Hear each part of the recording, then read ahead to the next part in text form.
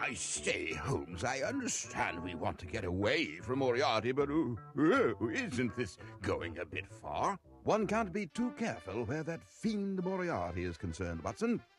But I must admit, traveling 47 million miles into outer space was a stroke of genius on my part. It, it guarantees our safety. Well, well, then I suppose all this oh, floating about business is worth it if it puts us one step ahead of Moriarty. or, or, should I say, one giant step for our kind? Hmm, hmm,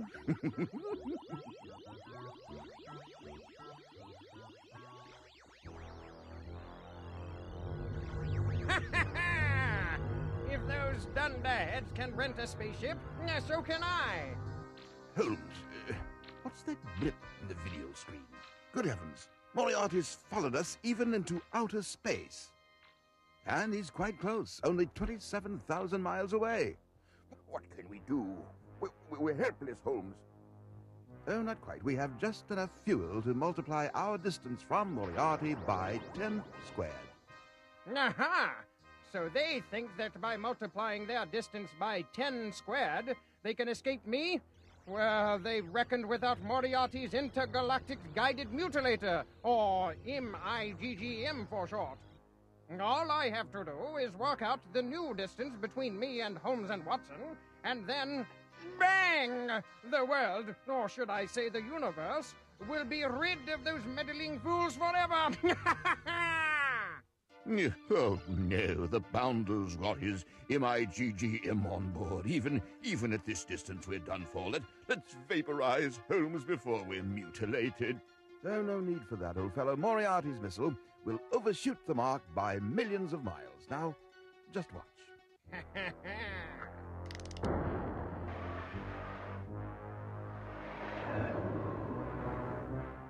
marvelous, Holmes, marvelous. But how in heaven's name did you know that would happen?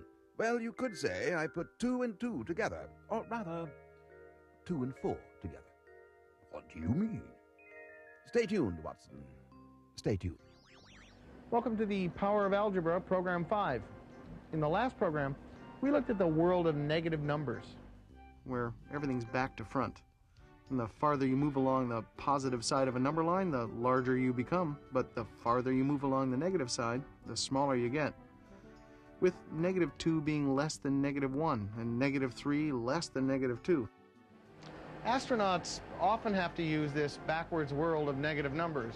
They even count backwards to launch the rockets. 5, 4, 3, 2, 1, liftoff. Which means negative 5 seconds to lift off, negative 4 seconds, negative 3 seconds, and so on. Astronauts also have to use another concept in math and algebra that we've already touched on. Exponents. The little raised numbers that tell us how many times a number is multiplied by itself. If the number 4, for example, is only multiplied by itself once, it's the first power of 4. If it's multiplied by itself twice, we call it a second power of 4. And if it's multiplied by itself three times, we call it the third power of 4, and so on. The second power of 4 is also known as 4 squared because it represents a square which is 4 times 4.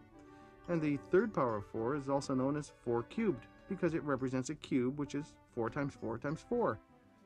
This is a very neat system for people who have to deal with the enormous distances involved in space exploration, millions and millions of miles. Instead of writing 100, for instance, like this, we can write it as 10 squared, and 1,000 is 10 cubed.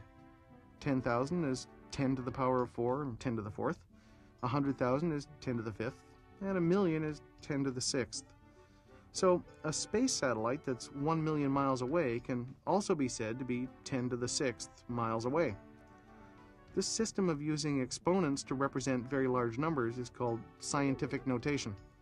To translate from regular math notation into scientific notation, simply isolate the first digit in the number and count how many places there are to its right. That gives you the exponent. 1 million has six zeros to the right of its first digit, so it can be written as 10 to the sixth. If the number isn't a nice whole power of 10, like the distance from the Earth to the Sun, for example, which is 93 million miles, we isolate the 9 by putting a decimal point after it, and then counting how many digits there are to the right of the decimal point. 1, 2, 3, 4, 5, 6, 7. So we can express the entire number as 9.3 times 10 to the 7th. And of course, if we have to deal with truly astronomical numbers like the number of stars in the universe, which add up to 80,000 million, million, million, how much easier to write 8 times 10 to the 22nd?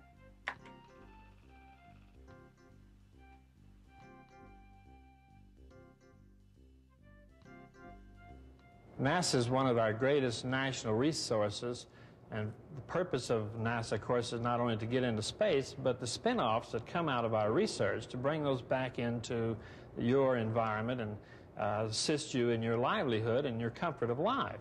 Uh, the requirements to work with NASA Center would be a degree in engineering, math, or one of the other sciences. When we launch our vehicle from Florida, we are under some constraints.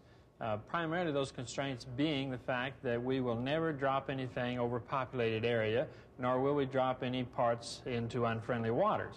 So we have a window that we can actually leave from uh, Florida, and if we launch due east, then uh, we will find that that's the northmost point in our orbit, because uh, we're going to take a, a trajectory that will carry us across the equator, and somewhere we will be 28 and a half degrees below the equator, since we're since uh, our launch site uh, in Florida is 28 and a half degrees above the equator.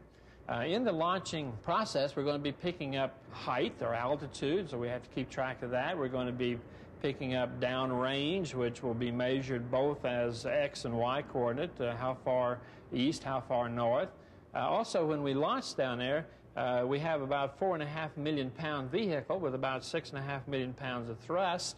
And so you're going to pick up speed at a very rapid rate. But don't, get, don't forget the fact that the Earth is also rotating to the east and gives us quite a contribution in our eastward velocity.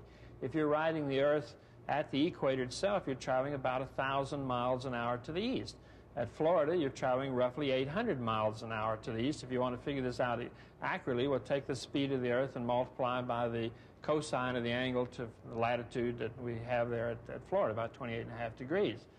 So there's a lot of factors that get involved, and these become very large numbers, particularly by the time that we reach uh, orbital velocity. We're traveling approximately 17,500 miles an hour, and we're up there somewhere between 150 to 200 miles altitude.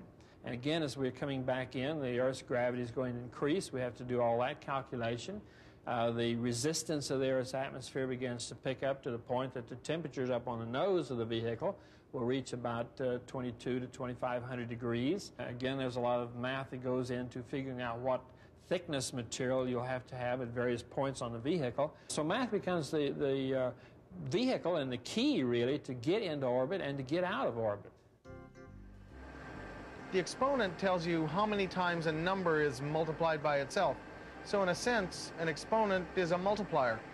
But you can run into situations where you have to multiply the multiplier. For example, if a spaceship is traveling at 10,000 miles an hour and the captain decides to multiply his speed by 100 miles an hour, we'd write it like this. Or we could express it in scientific notation by saying that the spaceship is traveling at 10 to the fourth miles an hour and is going to increase its speed by 10 squared. So when the same calculation is done using scientific notation, you add the exponents. 4 plus 2 is 6. Therefore, 10 to the fourth multiplied by 10 squared is 10 to the sixth. Double check this. Think of 10 to the fourth as 10 times 10 times 10 times 10, and 10 squared is 10 times 10. And count the total number of tens. 1, 2, 3, 4, 5, 6. Now, that's the first rule of exponents.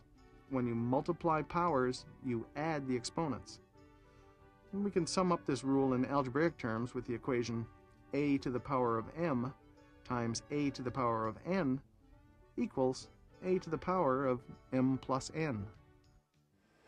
But what happens when our spaceship captain decides he wants to divide his speed of 10,000 miles an hour by 100? How do we do that using exponents? How do we divide the multipliers? Well, Let's do it the regular way first. If we divide 10,000 by 100, what we in fact do is subtract two zeros from 10,000 to give us 100. So when the same calculation is written in scientific notation, we subtract the exponents. 4 minus 2 equals 2. Therefore, 10 to the fourth divided by 10 squared is 10 squared. Again, we can check that we have this right if we think of 10 to the fourth as 10 times 10 times 10 times 10, and subtract two tens from four tens to give us the 2 in 10 squared. So now we have the second rule of exponents. When you divide powers, you subtract exponents. And the algebraic equation which sums this up is a to the power of m divided by a to the power of n equals a to the power of m minus n. Armed with these rules of exponents, let's see how Moriarty miscalculated the distance for his deadly missile. Well, I, I am staying tuned, Holmes, but all I can see is Moriarty's intergalactic guided mutilator getting farther and farther away from us. But I still don't see how putting uh, two and four together explains why Moriarty overshot the mark so badly.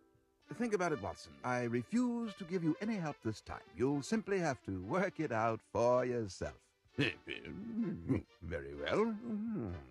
Let me see. The, the distance between Moriarty's uh, spaceship and our spaceship is uh, 17,000 miles multiplied by 10 squared. 10 squared is 100, so hmm, that means we multiply 17,000 by 100 which is 1,700,000 miles. Now, how could Moriarty have got that calculation wrong? Watson, you're being unscientific about this. Un- unscientific? Uh, were you giving me a clue, Holmes? Yes, Watson, and I hope you take note of it. Uh, note. Uh, notation. Aha! You're talking about scientific notation, exponents and all that? You're getting warmer, Watson. So 17,000 multiplied by 100 in scientific notation is 1.7 times 10 to the fourth multiplied by 10 squared. Uh, to do that calculation, we need to follow the first rule of exponents. When you multiply powers, you add exponents. Ah, I see. We put 2 and 4 together to give us 6. But that comes to the same thing. 1.7 times 10 to the 6 equals uh, 1,700,000. Uh, Moriarty could have done that too. Only if he understood the rules of exponents, which I happen to know he does not. Moriarty never does his homework. So, instead of adding the exponents, Moriarty uh, must have multiplied them to get 1.7 times 10 to the eighth. Uh, which equals not 1,700,000, but 170 million. Now, look at the screen again, and you'll see that that's exactly how far the MIGGM will reach. Mm, don't say it, don't say it, it's all too obvious. When it comes to brain power, I'm light years ahead of Moriarty. We've nothing more to fear from MIGGMs.